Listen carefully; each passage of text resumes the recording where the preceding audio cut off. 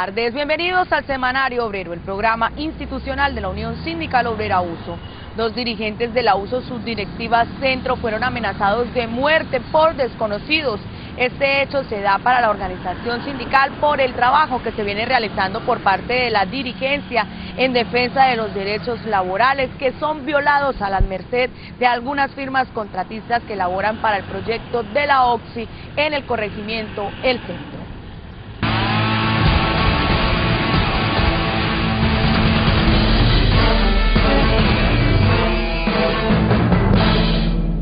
Con este ramo fúnebre fueron amenazados de muerte los dirigentes Alex Castro e Ignacio Hernández, dirigentes de la subdirectiva Uso Centro por desconocidos. Las flores fueron dejadas en horas de la madrugada en la vivienda del secretario de Asuntos Energéticos Alex Castro. A las 4 de la mañana pues una vecina se asomó a la ventana que iba a sus labores en una cafetería del colegio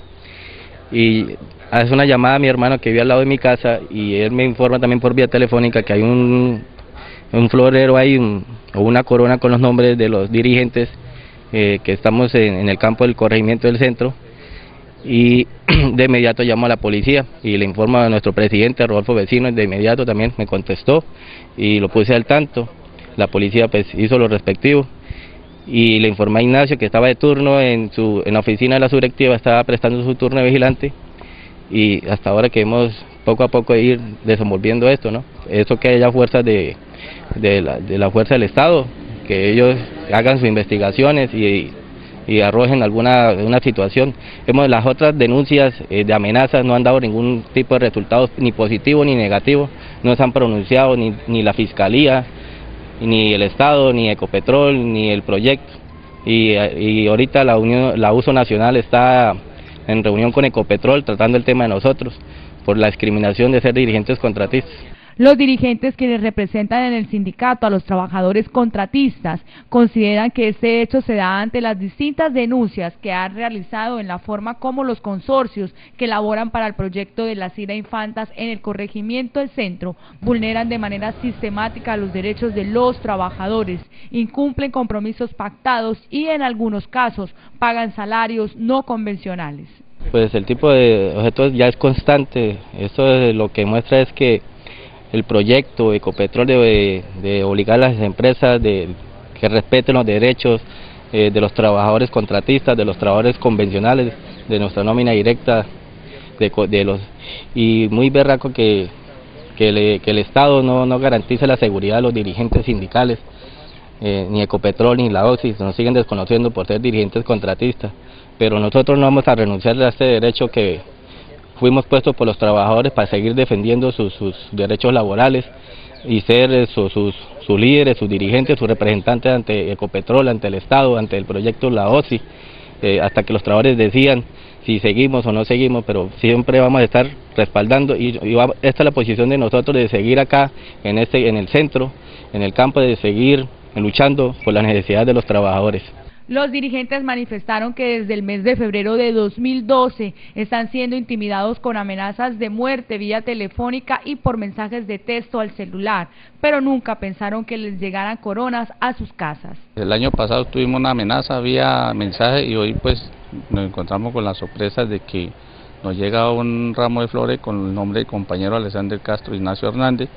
Somos los dos dirigentes de la subdirectiva del centro no sabemos de dónde pueda provenir las amenazas, puede ser del mismo Estado, como puede ser represalia de las mismas empresas en las cuales hemos hecho excursiones para mejorar los salarios y la calidad de vida de los trabajadores. Eh, sí quiero hacer énfasis de que queremos ser responsables tanto a Ecopetrol, a la OSI y al mismo Estado de lo que nos pueda suceder a nosotros los dirigentes de la subdirectiva de esos centros, ya que no somos los únicos, sino que los otros compañeros también han venido recibiendo amenazas esta amenaza no es la primera que reciben Castro y Hernández en lo que va corrido del año, motivo por el cual exigen a las autoridades competentes dar con los responsables de manera inmediata, ya que las anteriores denuncias hasta el momento no han arrojado ningún culpable. Las amenazas vienen por el trabajo de actividad sindical que venimos ejerciendo en el corregimiento del centro. Pues como derecho fundamental que tenemos nosotros los colombianos es que nos brinden la seguridad, que el Estado eh, divulga en la constitución política, que nos den ese derecho, ese, ese, ese, ese, ese derecho que tenemos todos los colombianos de que nos brinden la seguridad.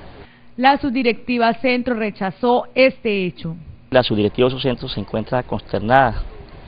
eh, debido a las múltiples amenazas que se han venido presentando contra la dirigencia sindical. Precisamente el día de hoy en la casa del compañero Alexander Castro, eh, grupos desconocidos o personas desconocidas eh, dejaron un sufragio representado en una, un ramo de flores dirigido a sus dos compañeros, Alexander Castro e Ignacio Hernández. Eh, debido a eso, pues nosotros pensamos o responsabilizamos al proyecto Las Infantas debido a que desde que inició este proyecto las constantes amenazas que hemos venido recibiendo son permanentes contra la dirigencia sindical. Ignacio Hernández pidió a las autoridades mayor respaldo a los dirigentes sindicales contratistas, pues según él, por no ser empleados directos de la empresa petrolera, el Estado no les garantiza su integridad personal. Lo ocurrido deja ver que en Colombia no se respeta el libre ejercicio de la actividad sindical. Aún así, el gobierno nacional firmó el Tratado de Libre Comercio.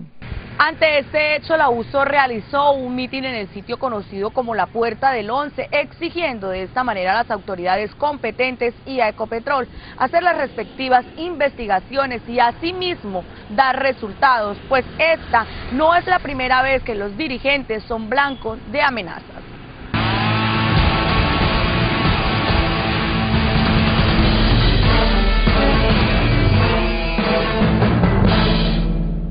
La Puerta del Once fue el sitio de concentración de la dirigencia nacional de la subdirectiva Barranca Bermeja y Centro para realizar un mitin en rechazo a las amenazas de muerte que han recibido Alexander Castro e Ignacio Hernández, dirigentes de la subdirectiva Centro.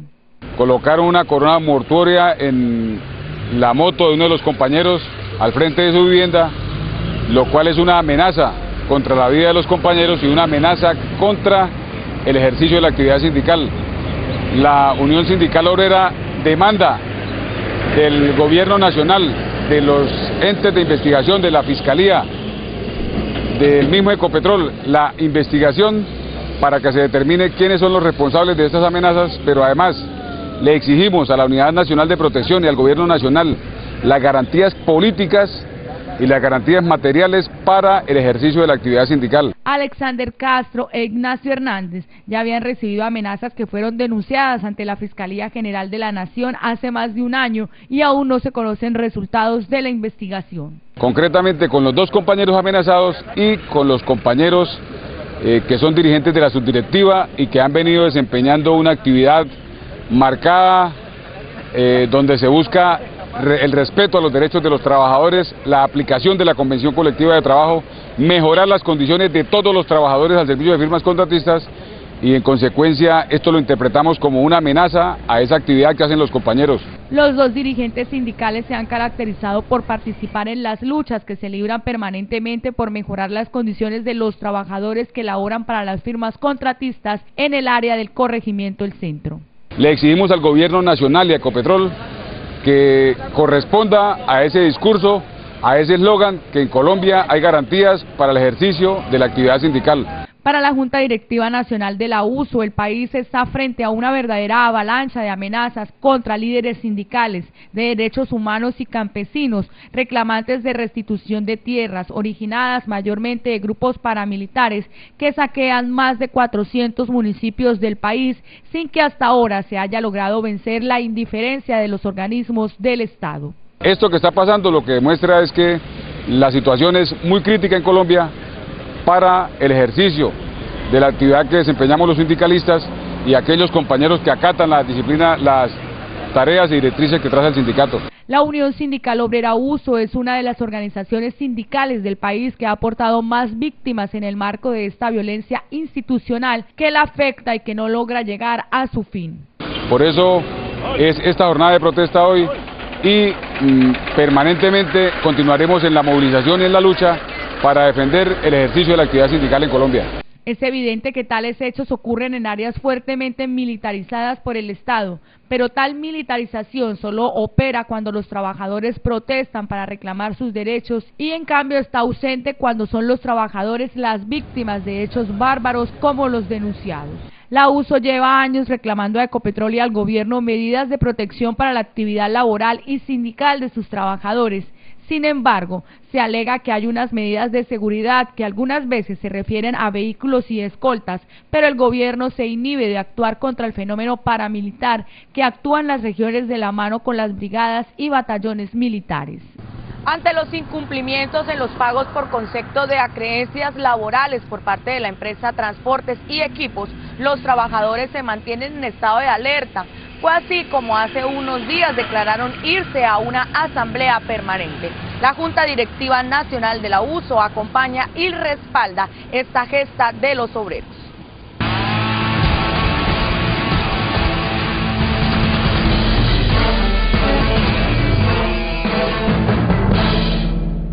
En anormalidad laboral se declararon los trabajadores de transportes y equipos debido a los constantes incumplimientos en los pagos por concepto de acreencias laborales como salarios, cesantías y beneficios debidamente pactados, retención ilegal de descuentos para el pago de libranzas con entidades bancarias y comerciales, situación esta que lleva a los trabajadores a ser reportados a las centrales de riesgo. Los trabajadores de transporte y equipos salieron a, este, a esta asamblea permanente que acaba de levantarse en estos momentos porque hubo finalmente acuerdo, un acuerdo que solamente resuelve uno de los puntos en discusión. Eh, el tema laboral y el tema de todos los atrasos por parte de la firma de transportes y equipos en el pago inclusive de salarios porque al día de hoy todavía no han pagado la última quincena de este mes. Desde luego, esta inconformidad de los trabajadores fue manifestada desde hace seis meses a la administración de la empresa, sin que en su momento se diera una solución. Pero pasado ese tiempo, la situación es insostenible, más cuando ahora la empresa responde que afronta un desequilibrio económico del contrato con Ecopetrol por la reducción de rutas y cambios en el pago de las tarifas. La empresa plantea que el tema de su incumplimiento se debe a una situación de equilibrio económico de la empresa en este contrato. Para nosotros como organización sindical eh, se viene dando aquí en Transporte de Equipo el clásico ejemplo de lo que está sucediendo no solamente aquí en Barranca Bermeja, sino a nivel nacional en el tema contractual. Y es que la empresa en sus licitaciones realmente eh, no plantea un estudio de mercado serio. La decisión de la Asamblea Permanente fue tomada por los trabajadores, luego de exigir a transportes y equipos una solución inmediata a la problemática. Responde que si Ecopetrol no ajusta rutas o tarifas, se verá obligada a entregar el contrato, a declararse en quiebra y dejando a su suerte a 300 trabajadores y sus familias. Eh, la inconformidad es por los atrasos que se han venido presentando en los salarios, en el pago de obligaciones bancarias que tiene la empresa con nosotros y todo lo más todo eso, en los retrasos y las obligaciones y que dice la empresa que está económicamente mal. Los trabajadores han iniciado acciones para defender su estabilidad laboral y las conquistas alcanzadas hasta el momento. Así las cosas no permitirán que Ecopetrol y transportes y equipos acaben con el proceso organizativo, aplicando la estrategia de dividirlos como en otros sectores. Que las condiciones económicas de los contratos a la altura de, las exigencias que el mismo contrato plantea y se están inclusive eh, incurriendo en situaciones donde no hay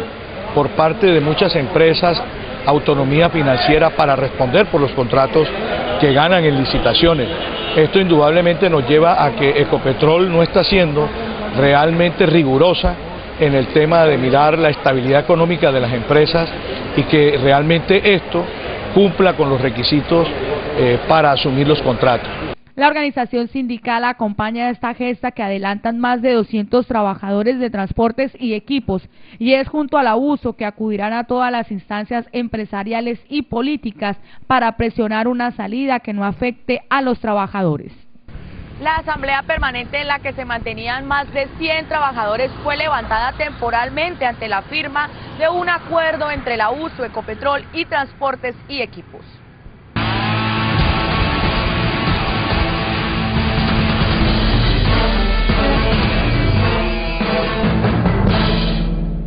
Las vías de hecho siguen reivindicando los derechos de los trabajadores. Es así como luego de transcurrir más de cuatro horas de haberse declarado en asamblea permanente, los trabajadores de transportes y equipos fueron llamados junto a la USO por Ecopetrol y la empresa a negociar una salida al conflicto laboral. Digamos que el alcance del, del, acuerdo gira en torno a tres aspectos. Primero que la empresa Transportes Equipos entre el 2 y 3 del presente mes eh, cancelará todos los dineros que les adeuda a los trabajadores en materia de salarios, de prestaciones, de seguridad social eh, y todas las acreencias económicas. En segunda instancia está el compromiso de que si una situación como esta no volverá a presentarse, donde hayan atrasos en los, en los salarios, para tal fin, en ocho días tanto Ecopetrol como la empresa Transportes Equipos presentará una solución definitiva con base en los análisis que hagan eh, frente a la viabilidad del contrato. Germán Osman Mantilla, vicepresidente de la Junta Directiva Nacional, hizo parte de la comisión que representa a los trabajadores y explicó los alcances de este acuerdo temporal. Una solución definitiva hacia futuro para que por lo menos durante la duración de este contrato que va a cinco años eh, no se vuelva a repetir eh, una situación eh, similar. Por parte del sindicato pues definimos el compromiso de levantar la normalidad a la asamblea permanente que habíamos decretado. La defensa de la estabilidad laboral es una de las consignas del sindicato, que por ningún motivo permitirá una masacre laboral. Pero también, eh, como lo hemos manifestado en la asamblea con los trabajadores, el compromiso del sindicato de hacer un seguimiento permanente eh, frente al cumplimiento de estos acuerdos y, y finalmente un llamado a la unidad, a la unidad de todos los trabajadores, unidad como trabajadores, como afiliados al sindicato eh, y todos pues como un solo hombre en torno al sindicato y en torno a las determinaciones y orientaciones. Por lo anterior, el vicepresidente indicó que es necesario y urgente mantener la unidad de acción por encima de cualquier interés coyuntural, por lo que hizo un llamado a los trabajadores de transportes y equipo. Para la uso, el centro de servicios compartidos se ha convertido en un elefante blanco literalmente. Las molestias y quejas por parte de los usuarios es una prueba fehaciente que los servicios en la regional tienden a seguir empeorando.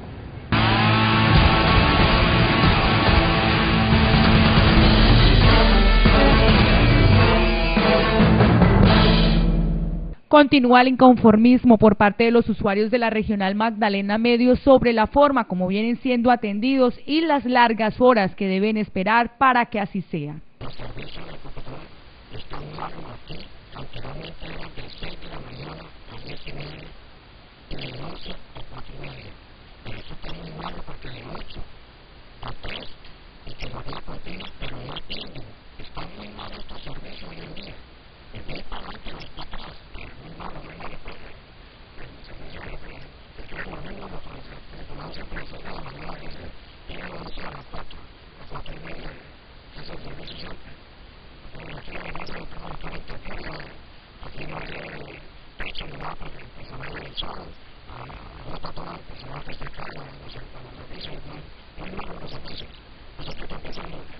organización sindical denuncia que el centro de servicios compartidos se ha convertido en un verdadero elefante blanco. Muestra de ello es lo que está ocurriendo en la regional Magdalena Medio, donde las denuncias que vienen realizando los usuarios, beneficiarios y trabajadores han llevado hasta que la Policía Nacional interviniera en el conato de azonada que se presentó la semana pasada.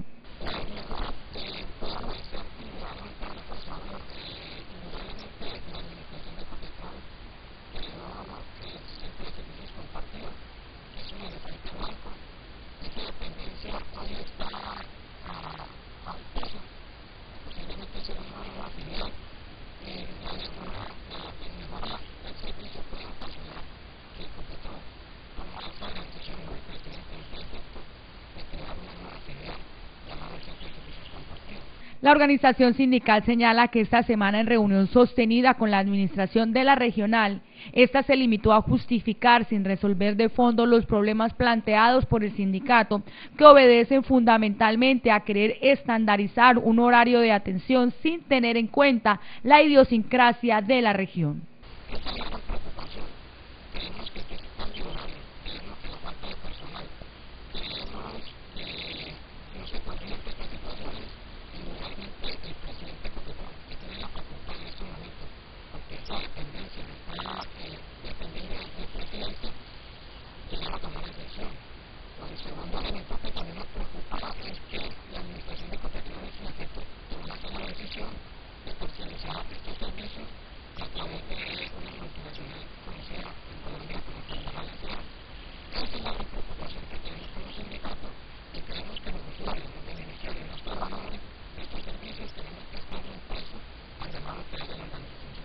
La falta de personal directo de Ecopetrol que atienda a los usuarios y la falta de un funcionario de jerarquía que resuelva los problemas del día a día hacen parte de las reclamaciones que ha realizado la USO, situación esta que lleva a desmejorar la prestación de los servicios por parte de la regional Magdalena Medio.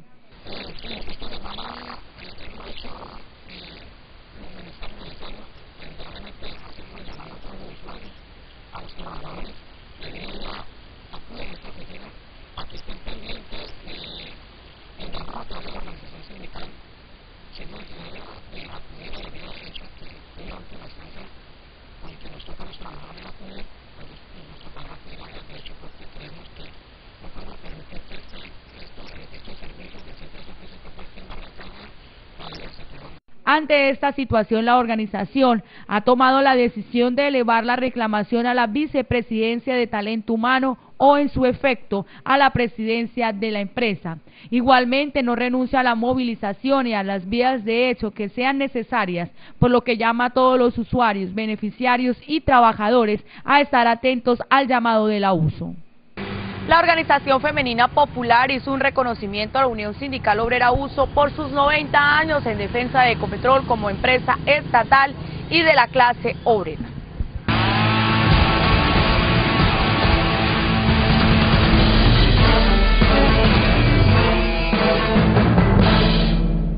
Con la entrega de esta placa, la Organización Femenina Popular hizo un reconocimiento a la Unión Sindical Obrera Uso en sus 90 años de lucha por los obreros, por una empresa para todos los colombianos, pero sobre todo por un país con justicia social. Es un reconocimiento muy merecido. La uso es historia en Barranca y ha sido una construcción de ciudad, de comunidad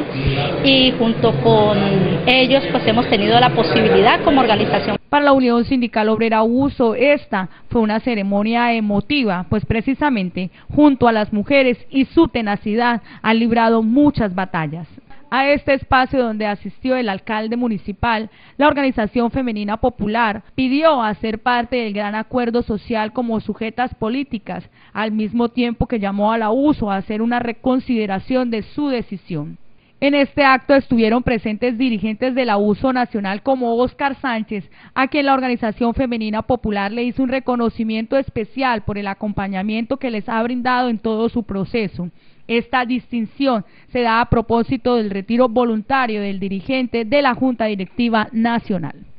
Y de esta manera llegamos al final de nuestro